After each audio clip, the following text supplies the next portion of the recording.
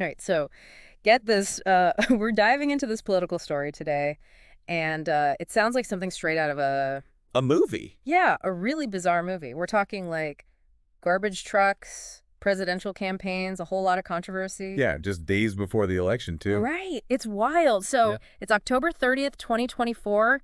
Uh, election day is like breathing down our necks. And former President Trump decides to make a campaign stop in Green Bay, Wisconsin. It's Wisconsin, right? yeah, Wisconsin standard stuff, right? You'd think so. Wrong. Con- he shows up riding on top of a garbage truck. Not your typical campaign vehicle. No, not at all. A literal garbage truck completely decked out with Make America Great Again signs. Oh, yeah, plastered with them. I mean, you can't make this stuff up. It was pretty unforgettable, that's for sure. A visual you won't forget. And, you know, it wasn't just some random publicity stunt either. Oh, so there's like a strategy behind this. Oh, yeah, definitely. It was a calculated response to something President Biden said that really set things off. Okay, so rewind a little bit for us. What exactly happened? What led to Trump's grand entrance on top of this garbage truck? Well, it all started with a comedian, Tony Hinchcliffe, who was performing at a Trump rally. Okay. And uh, he made a pretty offensive joke about Puerto Rico. Oh, Yeah, he called it a floating island of garbage. oof. Yeah, not a good look. Definitely not.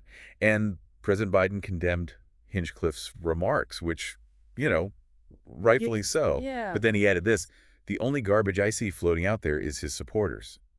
Wow. So even if he didn't mean like all Trump supporters, that's still Yeah, that's a pretty loaded statement. Yeah, especially coming from a sitting president. Absolutely. Right. And you could bet that Trump was not going to let that slide. Right. His campaign jumped all over that comment, and Biden's team later tried to clarify things, What did they say? saying it was just, you know, a grammatical error. Okay. And he was only referring to Hinchcliffe's words. Yeah, so he meant like the words themselves were garbage. Right, right. Yeah. But, you know, once something like that is out there, It's out there. it's out there, exactly. And that's where the garbage truck comes in. Yeah, think about it. Trump on top of a garbage truck wearing that orange safety vest, you know, Yeah. speaking to reporters, he was able to turn Biden's insult into this visual metaphor. Oh, I see. And it was brilliant, really, Mhm. just from a purely strategic perspective. Yeah, it's like he took that word garbage and made it into this like badge of honor, Right. a symbol of like the working class that he's saying Biden's ignoring. Exactly. He positioned himself as the champion of the forgotten man, Yeah. you know, Yeah. and used that moment to really connect with his base. So he addressed the reporters. I'm guessing he didn't stop there. This probably became a whole theme for the rally. Oh, absolutely. Yeah. He continued to criticize Biden at the Green Bay rally, called the comment a disgrace. Okay. And to really drive the point home, he even managed to get endorsements from some big names in Green Bay.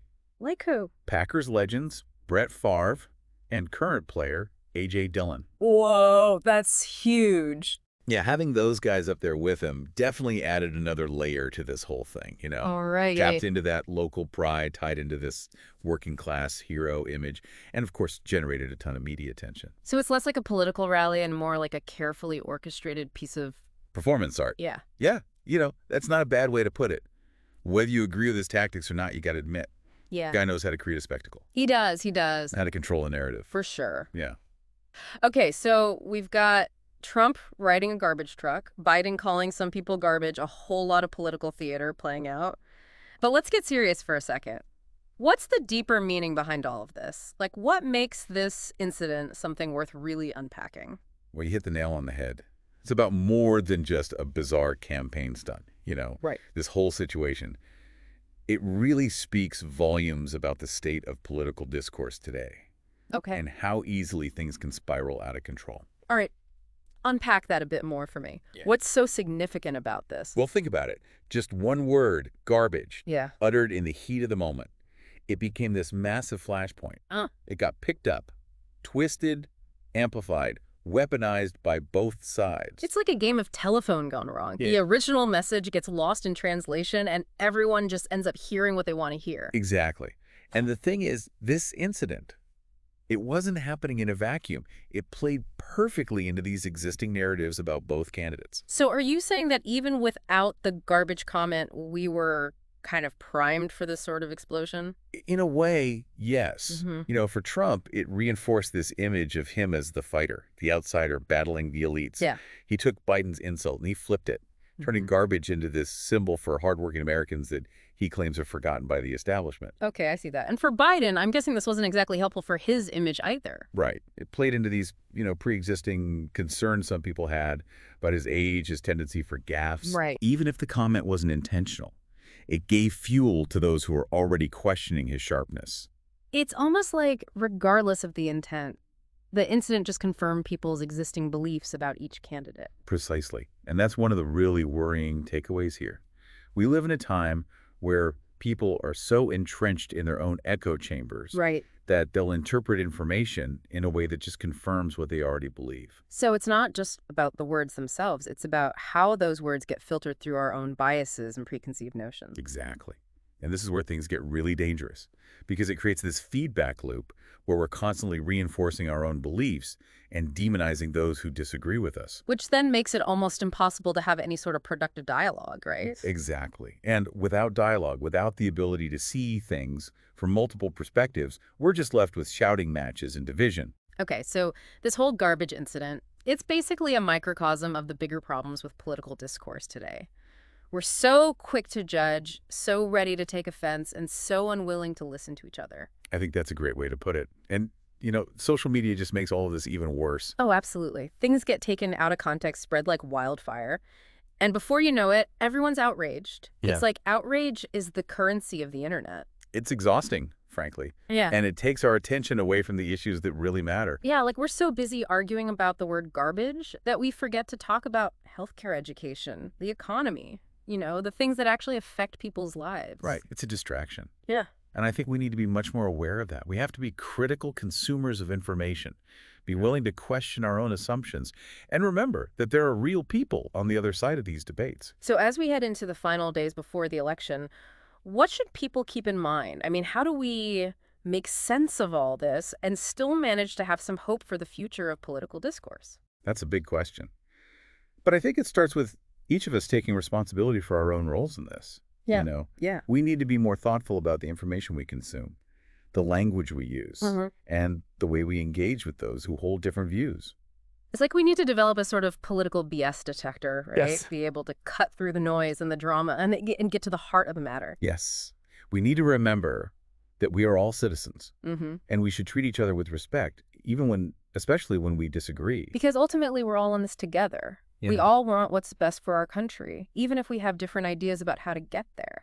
Yeah, it feels like we're at this point where like everything is so polarized and it's easy to get caught up in that outrage cycle. It is. You know, Yeah. it's almost like we forget there's a real world out there Right. beyond our screens and our political tribes and all that. It's true. And that's why this incident is so fascinating.